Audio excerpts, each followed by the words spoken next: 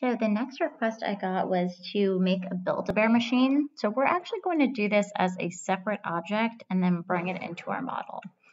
Um, I don't have my model open right now, so let me at least get that model open.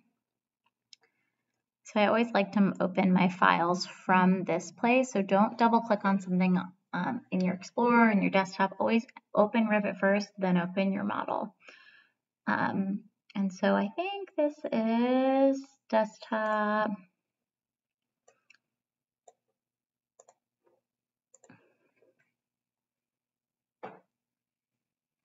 Okay, so this is the model that I'm going to be placing my, um, my fluffer machine into, but first I need to make my fluffer machine. So I'm going to File, New, Family, and I'm going to go to Generic Model and hit Open.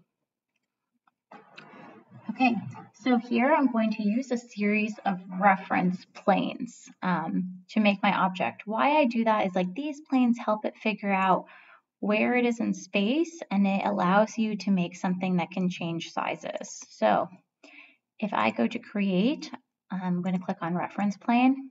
I'm going to draw one here, I'm going to draw another one here.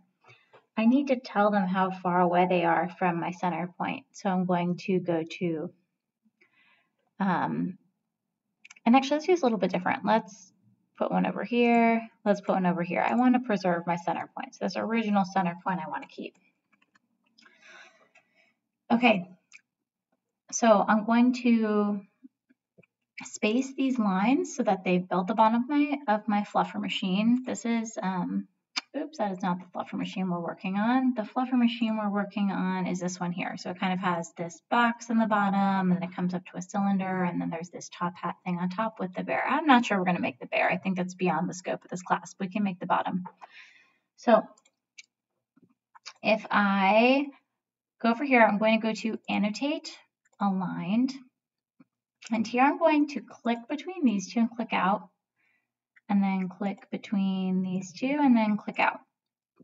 Um, before I change those, I want to click this one, this one, this one, and then I want to click this one, this one, this one. So what I want to tell the computer is that um, these two lines need to be equally spaced from the center. So I'm going to click on here and hit EQ, and that should have fixed that. And then over here, I'm going to click this and click EQ. Um, I now am going to make these both three feet. So I'm going to click um, on here.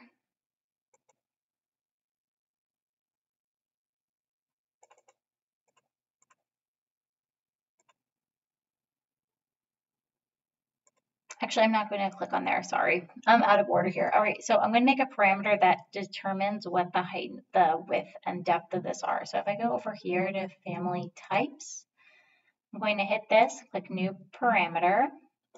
I'm going to call this one width. And it should say length here. It's going to be a type parameter, and that's all good. And I'm going to type in the value here, three feet. Now hit OK. So now when I click on this, I'm going to come over to labels and put on my width as three feet. Same thing over here. I'm going to click on here, come up to my label, and click on my width as three feet. I now go to create extrusion. I'm going to make a box, click on the rectangle, click here, click there. I want you to lock all these little boxes by clicking on them and hit the check mark. So I hmm. made sure that I set the width and the, the two widths, the width and the depth of this, but I never actually set the height. So I'm going to look at it from the front to do that. So I'm going to go to my front view Zooming over here, I need another reference plane and height. So I'm going to go to create reference plane, draw that in. And this one, um, I'm not going to make this parametric, so I'm just going to type in the values that I want it to be. So this, I want to be three feet up. Okay, and I want this to extend to the top of that. So I'm going to use the align tool. So this one right here is this button, or you can type in AL you're going to click on the reference plane and then click on the thing you want to go to it and then lock it. So in 3D, we now have our bottom box. So next thing I need is the cylinder that's here. So we kind of have this glass cylinder and then the top hat. So to make my glass cylinder, I'm going to go to create extrusion. I'm going to use that midpoint.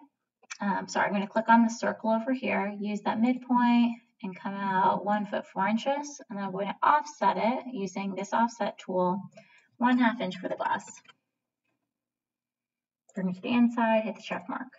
I'm going to go back to my front view. So this is all the way down here. I want the bottom of my glass to be kind of at the top of this form. So I'm going to do AL, get the bottom of that. Um, let's see how tall we think that piece is. If I'm saying that this is three feet, which I think is a little bit big, it's probably less than that. Um, let's say that's three and a half. So I'm going to, I can actually copy reference plane. So I'm going to copy this.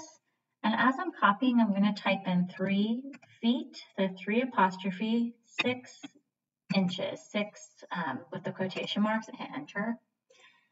And if I were to dimension that, I'd see that that gets me to my 3, 6. Okay, I'm going to do another align, so you can use this tool or type in AL. Click on this line, click on this line, lock. All right, so let's see where we're at. Okay, so we have a start. We have our um, base and we have our, our glass. So our glass right now is not um, any material, right? So we're going to fix that at the end. Let's just add our top hat for now. So I'm going to go back to um, top view. So I can go to my ref level, create extrusion. Um, and this time I'm going to pick this outside. So I'm going to use my pick tool, pick those. And I'm going to offset it four inches.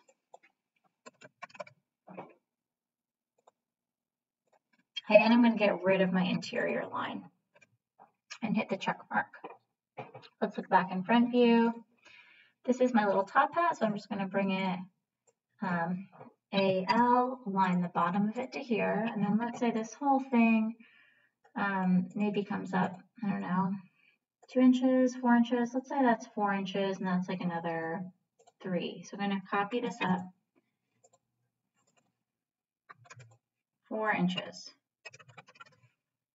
And then I'm going to copy it up another, actually I bet it's another four. I'm going to copy it another four inches. So I have my two height references.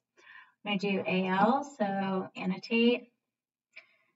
Um, I'm sorry, I must be under modify. Modify, align here to here, lock it. And then we're going to create one more, the top of our, our top hat. So I'm going to go over to here, create extrusion, and I'm just using my circle tool again. I'm going to come out one foot, hit check mark, go to my front view, and then I'm going to bring this up to here, this up to there, and then do an AL. Align the top to that and the bottom. Align the AL, the bottom to tab, tab, that. All right. So now if I look in 3D, I have um, the basic form of this.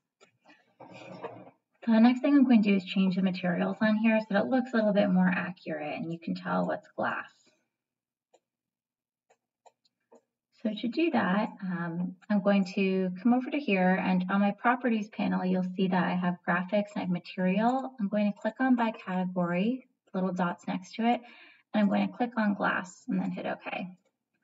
Um, and that's it, that'll do it. Um, if you want to see this in, and I guess we also have this as like a bright blue, right? We can make that. So if I click on here, I'm going to come back over to by category, click on it, um, and I'm going to take default and I'm going to duplicate it. So I'm going to call this blue. Blue plastic. Okay, so blue plastic. Um, in appearance, it's important, make sure you hit this little like replace key. Oh, sorry, not replace key, this little new key. That's going to keep you from modifying another material by accident. It's a weird thing. So over here, I'm going to change the color to that bright blue.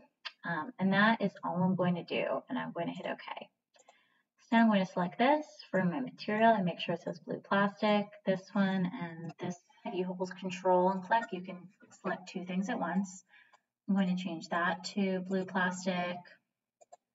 Hit OK. And now if I come down here to this little bar where my view options are, I can click on here and go to realistic. And now it's starting to look a lot more like my fluffer machine. Um, so I can keep building on this and adding detail, but I think this is a good enough representation for my plans and my elevations. So I'm going to save this. Um, I'm going to call it Fluffer, Fluff Machine. And then I'm going to load it into my project and close. When I do that, you can see that it's here to place. I want to go into my level one floor plan and I'm going to go back to component. It should still be up here. If it's not, you can always double click down on here and find it that way. So you click on here and there it is.